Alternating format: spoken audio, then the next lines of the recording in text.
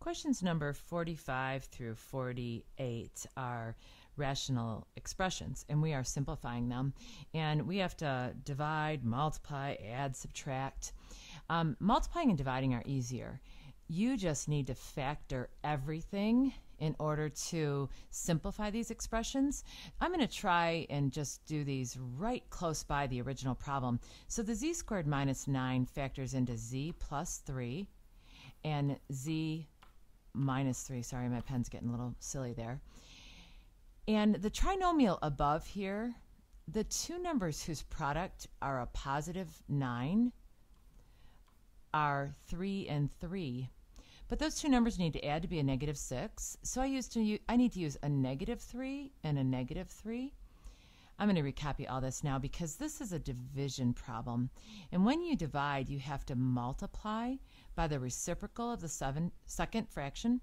The 5 over the z plus 3 is good to go. But the second fraction had the difference of squares in the denominator. I'm going to move that upstairs. That's a z plus 3. And there we go the numerator was z squared minus 6z plus 9, and when I factored that, that became z minus 3 and z minus 3. I'm now ready to remove the common factors on the top and on the bottom.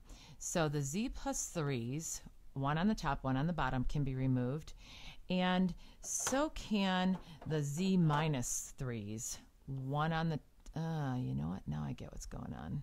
Okay, I'm going to try to bring this back. I think it's the pen color that I'm using. Um, Z minus 3s can be removed top and bottom. And now I just write my answer as what's remaining in this problem. And actually, I'm going to write it over here so I have room for number the next problem. The 5 in the numerator over the z minus 3 in the denominator. I'd like to go back to one last thing, however.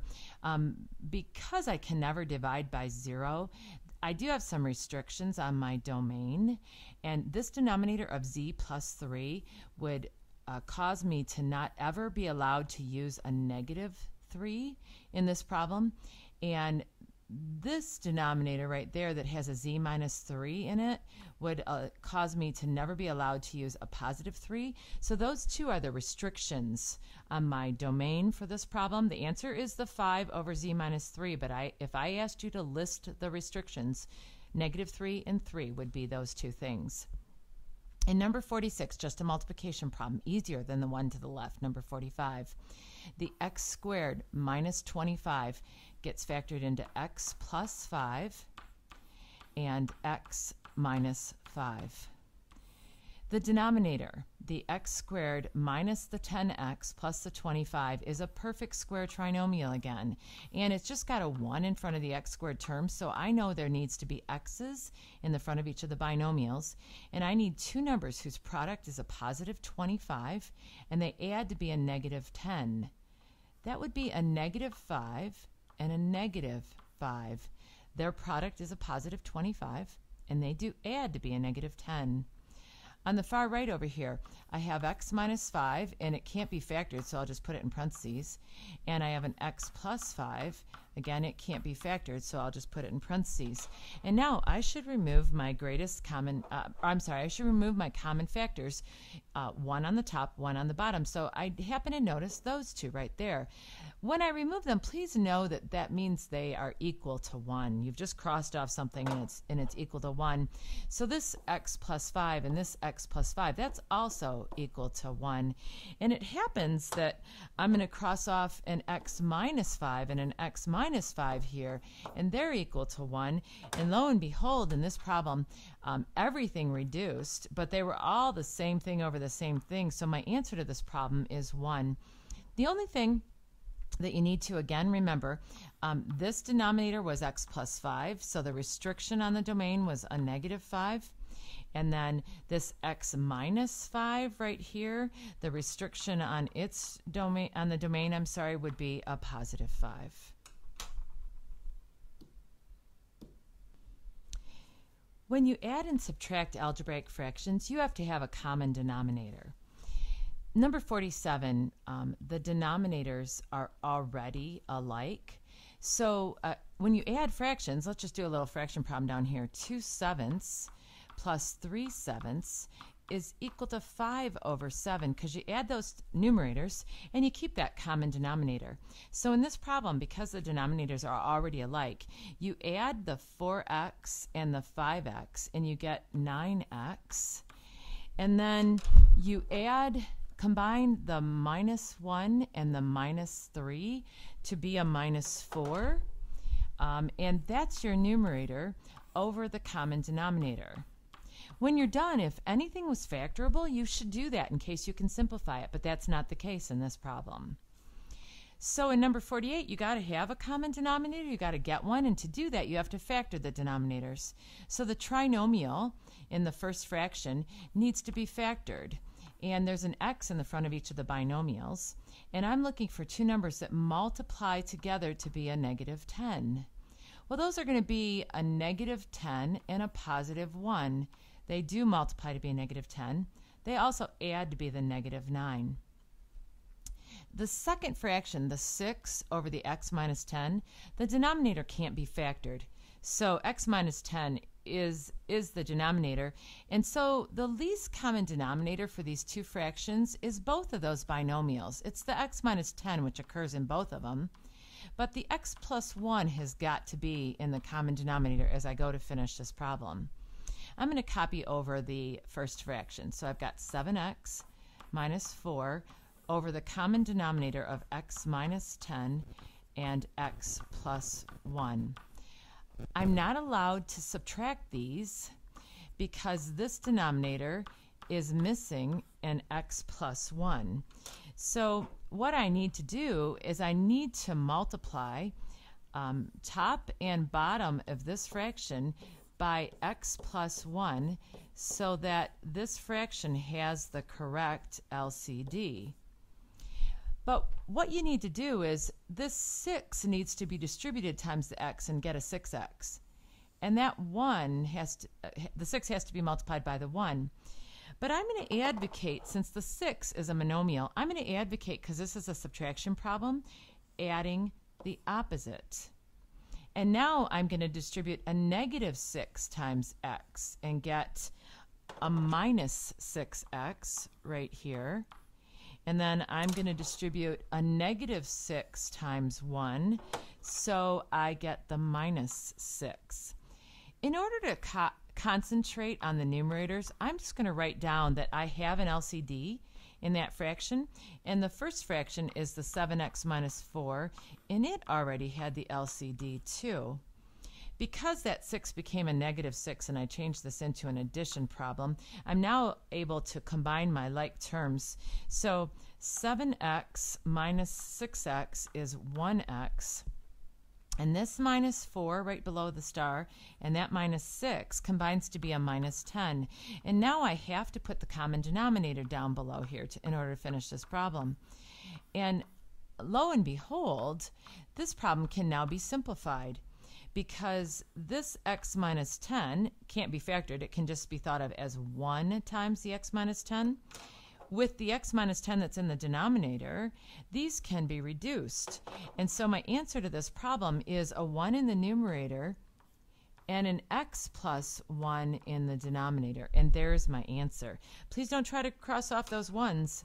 Um, it's, uh, it's only common factors that can be removed, and the denominator is a binomial. That's all one thing, and so you can't re remove those ones. Number 49 is a, still a rational expression and it's a subtraction problem, so I have to have a common denominator. Um, in order to get a common denominator, if any of the denominators are factorable, you must do that. So the two numbers whose product is this 21 right here are 7 times 3, and they add to be the 10. I'm going to erase those in a minute. So the 7 and the 3, these are easy trinomials to factor um, because you just need to look for those two numbers that multiply to be 21 and add to be 10. And then the second denominator is just the binomial x plus 7. So my LCD has to be every factor that's involved. That's the x plus 7 and the x plus 3. So the first fraction, x squared minus 7 over the x plus 7 and the x plus 3 is good to go. It's got the least common denominator. But the second fraction, the x minus 4 over the x plus 7 is not. It needs the x plus 3. So I'm going to multiply that top and bottom by the x plus 3. But this one's different than the last problem in that the last problem had a 6 in the numerator. This problem's got an x minus 4 in the numerator. And um, before you go crossing off these x 3s, which is a common mistake and kind of a silly one, I hope you're laughing at that. You just put them there. You don't want to cross them off. What you have to do now is you have to FOIL these two right here. You have to find out what the numerator is equal to. And then we're going to come and apply this minus sign after the fact. So let's first FOIL. So I'm going to do most of it in my head. Um, the x times x is x squared. Then I have a 3x minus a 4x, which is a minus 1x in the middle. And the minus 4 times the 3 is a minus 12. And I'm going to concentrate on the fact that I have the common denominator now for both of these, and I'm just going to pay attention to the fact that I have to subtract them now. When you subtract polynomials, when you take that x squared minus the 7, and subtract the numerator, the x squared minus x minus the 12, it's as though I'm asking you to multiply everything in that numerator by a negative 1 and make that become a negative x squared and a positive x and a positive 12. So if you wouldn't mind, I'd like to go ahead and just swipe this and make this a negative x squared, a positive x, and a positive 12. And now I'm going to combine my like terms.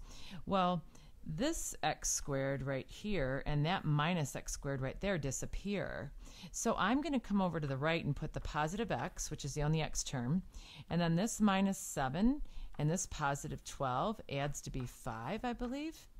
And my common denominator is x plus 7 and x plus 3. And I'm all done because the x plus 5 is not a common binomial to anything in the denominator.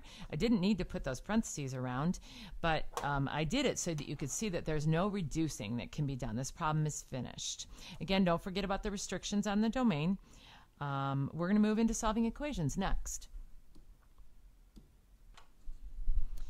I'm going to erase this in a minute, but what I want you to see between uh, this next few problems, I'm looking to see how many there are, just a couple, 50 and 51, versus 49, 48, 47, is that there's an equal sign here. And the directions say solve this equation. So I want to find out that x equals some number. That's that's my goal. So when you see these problems, please recognize that you are trying to look for what x equals. You still have to get a least common denominator. And so, I'm going to erase that. And so, in this problem, the LCD is the number 15. Many people think that they need to get common denominators in this problem in order to work it. To be able to see this well, um, what I want you to recognize is that the goal is to get rid of the denominators, not to get common denominators. So we multiply both sides of this equation by the full number 15. And this pen's a little thick. I'm going to rewrite this again. So that means that the x plus 2 over the 3 gets multiplied by the 15. That means that the x over 5 gets multiplied by the whole number 15. And that means that the 4 fifths on the right side gets multiplied by a 15. And the reason you do that is because all of these denominators will divide into 15 easily. For example, 3 goes into there once and it goes into 15 five times. So you're going to take that 5 times the x plus 2, and you will not have a denominator there. It's a denominator of 1. A 5 goes into here once and goes into there three times, so you'll have 3 times the x. And a 5 goes into here once and into here three times, so you'll have 3 times 4 when you write your next step. So again, right here, I'm left with 5 times x plus 2. In the next term, I had a 3 when I reduced those times the x. And on the right hand side of this equation, I had this 4 times 3, which is 12. And now I just got to use my algebra skills. I got to distribute here. I've got to collect my like terms on the left hand side of this equation. That's the 3x and the 5x. Adds to be 8x. Now I've got to subtract 10 from both sides of this equation. I'm going to bring this over here. So I have 8x plus 10 equals 12. And then I'm going to subtract 10 from both sides of the problem. And I have 8x equals 2. And then I will divide both sides by 8. So 2 divided by 8, and I should reduce that, is equal to 1 quarter. And um, I really should check my solution. I'm not going to take the time to do that. And there are no limitations on my domain for this problem. I'm going to store this, save this, um, this clip and then do number 51 next. Number 51, the denominators don't need to be factored in order to find the least common denominator, but just remember that the LCD is the variable factors the greatest number of times they occur in any one denominator. So not only do I have to include the 3 in the LCD, but I have to include x squared because x occurs um, x times x in that denominator. And so that's the greatest number of times it occurs in any denominator. Here it's only once. So what I'm doing is I'm taking each term, the 3 over x, and the 1 over 3, and the 12 over x squared, and I'm going to multiply each of those by the full LCD, the 3x squared and then I'm going to cross off the portion of the denominator that I can. So for example here, x to the second and x to the first gives me just x in the numerator because I subtract the exponents. Or you could say x squared is x times x, and I'm going to remove that one and that one. That means I'm left with this 3 times this 3, which is 9, and just an x that x right there. These threes cancel out, and I'm left with a 1x squared. You do not need to write that 1. Typically, I won't write that 1. And then finally, on the right-hand side, the x squareds will cancel out, and 12 times 3 is 36. Well, the only way I know to solve a problem that's got an x squared in it is to, right now anyway, is by the zero product rule and factoring. So I've got to get this 36 over the left-hand side. So I'm going to subtract 36 from both sides. While I'm at it, I'm going to put the x squared term in front, then the 9x, then the minus 36. So it's in descending order, and then the 0. And now I'm looking for two numbers whose product is a negative 36. So one's got to be positive, one's got to be negative. The two numbers have to add together to be a positive 9. So I'm going to try a positive 12 and a minus 3. They multiply to be a negative 36 and they add to be 9. And then the zero product rule says to set those factors equal to 0. So set the x plus 12 equal to 0 and set the x minus 3 equal to 0. And then go ahead and solve for x by subtracting 12 from both sides. So there's one of my answers. Adding 3 to both sides. And my other answer is x equals 3. And often we will write the fact that we have two solutions in um, a brace. This just shows us what the two answers are. The only restriction on my domain over here was 0 because I can't divide by zero. So those two answers, answers will likely check. And I have checked them and they do.